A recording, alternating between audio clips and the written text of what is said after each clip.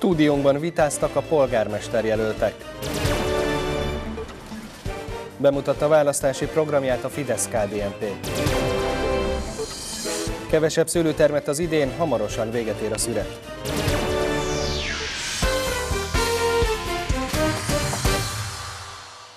Jó estét kívánok, ez az aktuális, október 8-án. Jönnek híreink részletesen.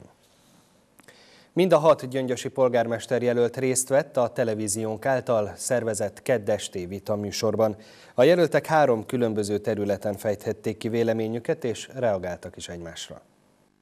Az önkormányzati választás hetében a Gyöngyösi Városi Televízió polgármester jelölti vitaműsort szervezett, amelyre mind a hat jelölt elfogadta meghívásunkat. Stúdiónkban a jelöltek véletlenszerűen foglaltak helyet, és azt is sorsolással döntöttük el, hogy melyik téma kifejtését kikezdheti. A polgármester jelöltek a munkahelyteremtés, a közbiztonság és a városfejlesztés területén fejthették ki elképzeléseiket, és egymás mondandójára is reagálhattak.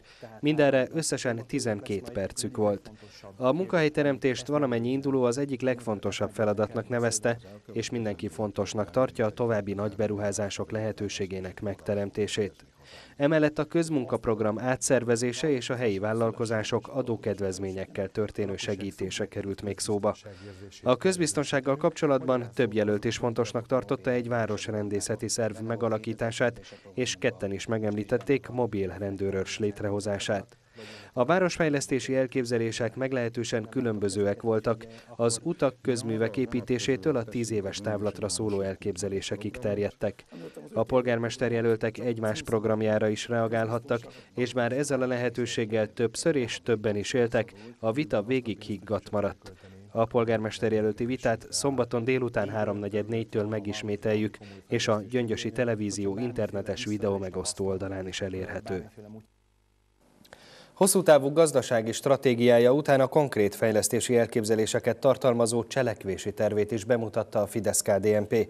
A 11 fejezetből álló gyöngyösi választási program a nyugati elkerülő út befejezése mellett ingyenes parkolást és az orcikert díjtalan látogathatóságát is tartalmazza.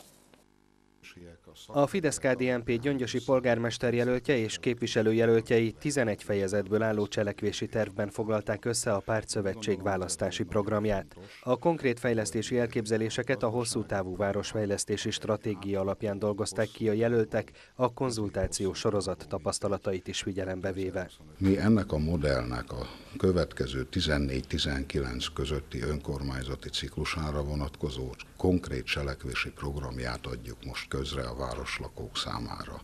Ezek tematikus fejezetekként végigviszik azokat a lépcsőfokokat, amelyeket az egyes területen meg kívánunk valósítani. Tatár László sajtótájékoztatóján külön kiemelte az általa jegyzett úgynevezett becsületbeli ügyek fejezetet, amely a nyugati elkerülő út befejezését, a strand fejlesztését, Kékestetőn országzászló építését és az Orcikert díjtalan látogatását is tartalmazza. Tatár László azt mondta, hatástanulmányokat kívánnak készíteni arról, hogy lehetne a parkolást ingyenessé tenni a város teljes területén, de addig is több helyen eltörölnék a parkolási díjat. Az első körben mi szeretnénk, hogyha a közintézmények, ezen belül az iskolák, a kórház, pénzintézetek, közhivatali intézmények előtt ingyenesen lehessen parkolni. A választási program további 10 fejezetében egyebek mellett 5000 forintos karácsonyi nyugdíj kiegészítésről, Farkasmáj és a borászat önkormányzati biztosáról, a rezsicsökkentés helyi folytatásáról, a hivatalos ügyek egyszerűbb intézéséről és a közbiztonság növelésével kapcsolatos elképzelésekről is olvashatnak a választók. Kevesebb szőlőtermet idén a tavainál, a minőséget pedig jó közepesre értékelik. Már csak egyes kék szőlőfajták vagy a kései születérésre szánt fehér szőlők vannak a tőkéken. A betakarítás hamarosan befejeződik a Mátrai borvidéken. Most már inkább a feldolgozó üzemekben van tennivaló, a szőlő betakarításával már majdnem végeztek a borvidéken. Az idei terméssel nem lehet dicsekedni, mert a vártnál kevesebb, mondta a Mátrai Hegyközségi Tanács elnöke. Az elmúlt években az volt a tapasztalható a borvidéken, hogy általában 8-8 és fél tonnás termés átlagokat érünk el, vagy értünk el. Hát az ez évi a 7 tonna körül itt közelíti, tehát van lényeges elmaradás. Az időjárás az átlagostól eltérő volt, javarészt ez az oka a mennyiség csökkenésének és a minőséget is közepesnek ítéli meg az elnök. Ez nem azt jelenti, hogy a borászatok nem kiemelkedő minőségű bort készítenek, ebből csak sokkal több munkával, sokkal több költséggel. Az árak esetében a későbbi szüretelésű szőlőknél 5-10%-kal többet kínáltak a felvásárlók a gazdáknak, ez valamennyit korrigált a mennyiségi kiesésen, tette hozzá az elnök. A bornak lesz piaca a szakember szerint, mert már most érdeklődnek bizonyos borfajták iránt. Versekkel, virággal és élőzenével lepték meg az idősek bentlakásos otthonának lakóit az Idősek Világnapja alkalmából. A lakók várhatóan november végén már visszaköltözhetnek a régi épületbe, amelyet 180 millió forintos támogatással újítanak fel. A mostani ünnepségen az otthon legidősebb lakóját, egy 102 éves nénit köszöntettek egy szárvirággal. Egy társadalom akkor tud jól működni, hogyha figyel azokra, akik itt vannak és idősebbek tőlünk, és itt vannak köztünk. Ezekkel a szavakkal köszöntötte dr. Réti Béla alpolgármester az Idősek Világnapja alkalmából az idősek bentlakásos otthonának lakóit. A nyugdíjasoknak az Empty Pubs zenekar külön dalokkal készült, az ünnepség végén pedig mindenkit egy szálvirággal köszöntött az alpolgármester és az intézmény dolgozói. A világnap célja figyelemfelkeltés, hogy akkor sem szabad megfeledkezni az emberekről, amikor már idősek. Mindenképpen fontos a fokozottabb odafigyelés feléjük, hiszen nagyon sok embernek, idős lakónknak már eh, hozzátartozói sincsenek, és mi úgy érezzük, azt szeretnénk, ha ők is úgy éreznék, hogy mi a gyerekeik is vagyunk egyben. Az idei műsort egy helyi zenekar fellépésével színesítették az otthon dolgozói, hiszen az idősek még az ideiglenes otthonukban töltik mindennapjaikat, de várhatóan november végén már visszaköltözhetnek a felújított régi otthonukba. Azért is volt nehéz a mai programot összeállítani, mert még az idéglenes helyen vagyunk, ugye nem készült el az új otthonunk.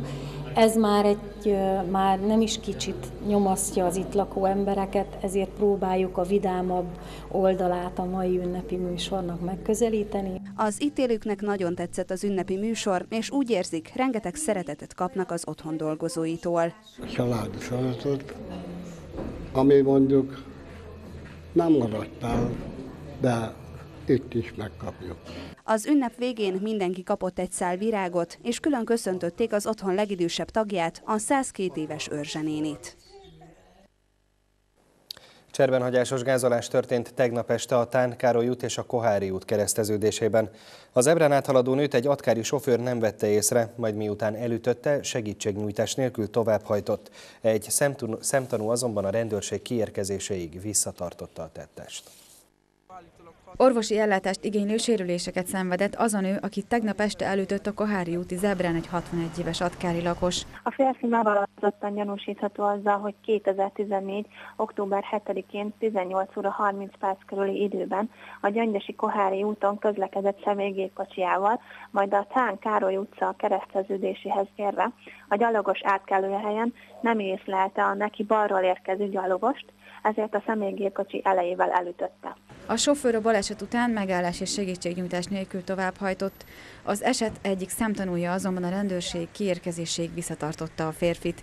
Az arrajárók közül többen értesítették a mentőket. Annyit vettem észre, hogy kollégámmal jöttünk éppen vacsoráért ide a szemközti végségben. Láttam azt, hogy egy hölgy a zebrán készül átkelni. Az egyik autó, amelyik lefelé megy a városba, az még elengedte, viszont amelyik szemből, szemből jött, annyit vettünk csak észre, hogy, hogy koppan valami. Nem is figyeltünk igazából, csak utána láttam, hogy a néni repül egyet, és aztán leesik. Gyorsan oda rohantunk természetesen, én amint tudtam, gyorsan hívtam a mentőket. A megkérdezettek szerint sokkal körültekintőbben kellene közlekedni a sofőröknek egy gyalogátkelőhely közelében. Ez a legforgalmas út egész gyöngyösön, ez mint például az egész Mátrába, és nem adják meg a gyalogosoknak a tiszteletet, mivel oktató autó, én 33 éve hatkakedő korolyás jogosítványomban, ez hol van még ön szerint 5 méter? Járda előtt, járda után, és ki kéne tenni ide egy sebességkorlátozást, megpőrendőrt, meg hogy 30 kilométer legyen, a védkes sofőr kihallgatásakor a bűncselekmény elkövetését elismerte. A gyöngyösi rendőrkapitányság nyomozást folytat az atkári lakos ellen segítségnyújtás elmulasztásának gyanúja miatt, mondta el televíziónknak Vámos Boglárka.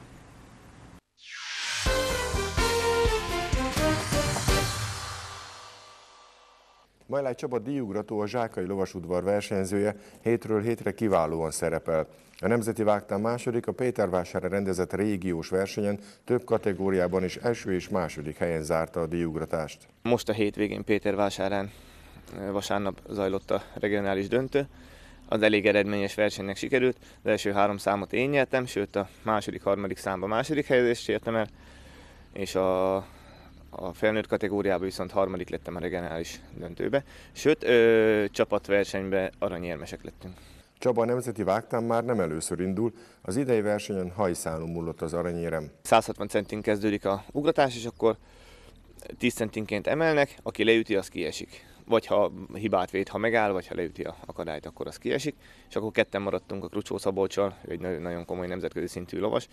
Ketten maradtunk a végső döntőre, és ott ő hibátlanul ugrotta, én meg leütöttem az akadályt. A győztes 190 cm-es teljesítménnyel tudott nyerni, Majlács Csaba nyakába idén még lesz lehetőség aranyérmet akasztani, de ezt már csak a fedeles versenyek végén tehetik meg a szervezők.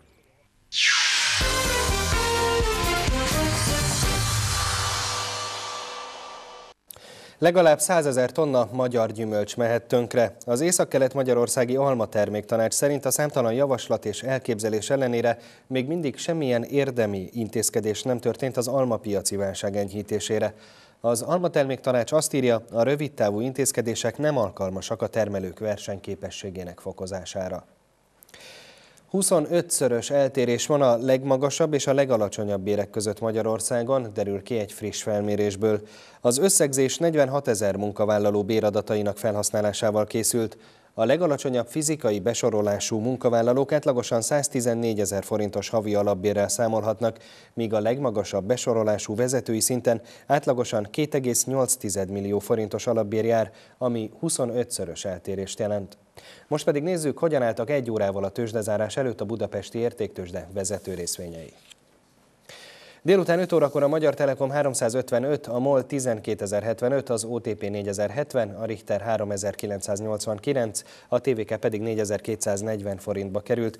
Ekkor a tőzsde hivatalos indexe a BUX 17864 ponton állt, a tegnapi záróértéke alatt 100 ponttal. Jönnek a legfontosabbak még egyszer röviden.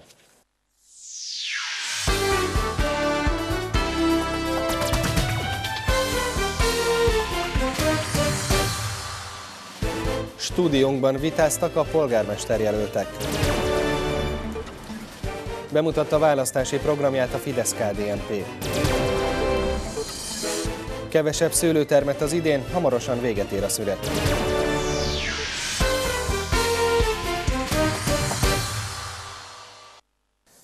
Köszönöm figyelmüket, friss információkkal legközelebb holnap jövünk majd a szokott időpontban, addig híreinket megtalálják a www.gyöngyöstv.hu oldalon is. Minden jót a viszontlátásra!